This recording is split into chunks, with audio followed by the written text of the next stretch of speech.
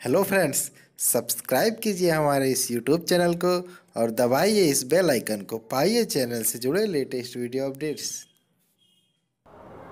नमस्कार मित्रों, मैं दीपक, आप सभी का स्वागत करता हूँ अपने यूट्यूब चैनल पर जिसका नाम है स्टडी विद दीपक सर तो ऐसे लोग जो हमारे चैनल पर नए हैं, सबसे पहले वो हमारे चैनल को सब्सक्राइब कर ले, क्योंकि यहाँ पे आपको मिलने वाला है यूपी एस बिहार एसआई और आने वाले सभी एग्ज़ाम का प्रैक्टिस सेट मॉडल पेपर और उनसे संबंधित अच्छी से अच्छी पीडीएफ तो दोस्तों, आज हम लोग बात करते हैं आज दिनांक 12 नवंबर को इलाहाबाद हाई कोर्ट का ग्रुप सी और ग्रुप डी का एग्ज़ाम था। तो आज हम लोग बात करने वाले हैं ग्रुप सी एग्ज़ाम की, क्या हो सकती है कटाव, किस कैटेगरी में जाएगी कितनी कटाव?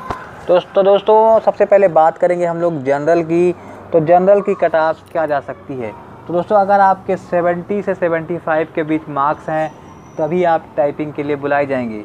तो जनरल की कट ऑफ़ जो होगी वो 70 से 75 के बीच होगी। इसके बाद आगे बढ़ते हैं हम लोग, बात करते हैं ओबीसी की। तो ओबीसी के लिए भी कट ऑफ़ 65 से 70 के बीच होगी। अगर ओबीसी का कैंडिडेट 65 से 70 के बीच नंबर पाता है, तभी उसे टाइपिंग टेस्ट के लिए बुलाया जाएगा, वरना वो एलिजिबल नहीं होगा।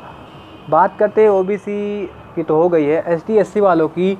तो अगर आपके मार्क्स 60 से 65 के बीच हैं तभी आपको बुलाया जाएगा टाइपिंग टेस्ट के लिए और तभी आप क्वालिफार क्वालिफाई कर पाएँगे ये एग्ज़ाम तो ये समझ लीजिए, ये थी एक्सपेक्टेड कट ऑफ़ जो जा सकती है सभी कैटेगरी की। तो टोटल मिला के आपको 60 प्लस तो लाना ही है, तभी आप किसी न किसी कैटेगरी में सेलेक्ट होंगे। तो आज की वीडियो में सिर्फ़ इतना ही।